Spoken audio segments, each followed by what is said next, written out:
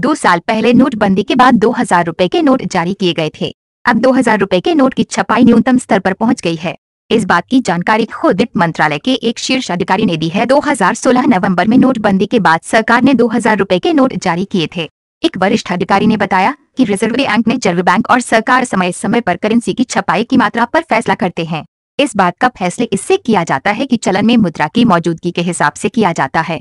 जिस वक्त 2000 के नोट जारी किए गए थे, तब इस बात का फैसला किया गया था कि धीरे धीरे इसकी छपाई को कम कर दिया जाएगा, क्योंकि इसे पुनर्मुद्रीकरण की जरूरतों को पूरा करने के लिए जारी किया गया था। कितनी कमी आई।